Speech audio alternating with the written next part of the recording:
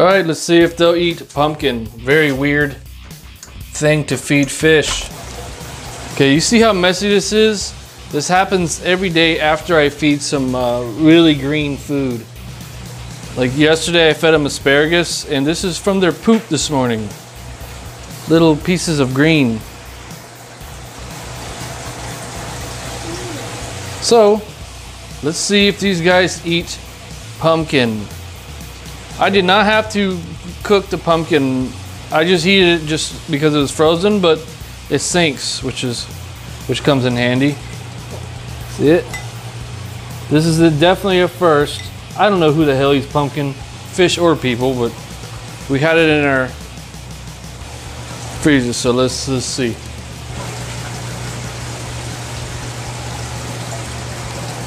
Let's see, yeah.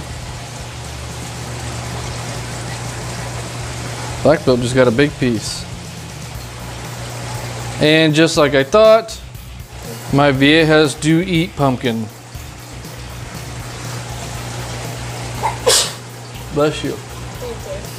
Some more pumpkin. Eat it up, guys. Whew, man, it's kind of messy. Need a water change. Al- Along with their poop from yesterday. What?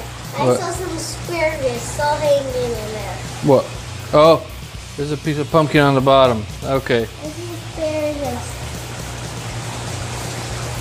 I saw asparagus. They are eating it, but they don't seem to like it too much. And I'm thinking one of the reasons of that is because I fed them so much asparagus yesterday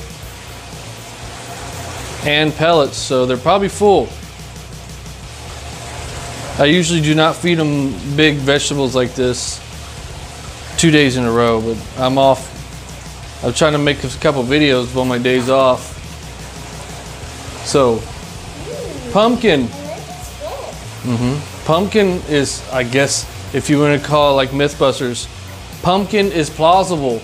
They eat it, but they kind of spit it out, but they kind of eat it, but look how messy it is. And I already see it floating around. I seen some on the bottom. So they like it, they'll eat it, but not at, not so much. They really like cucumber greens.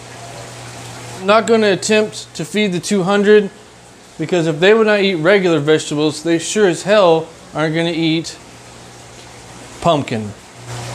All right, mega short one today. See ya.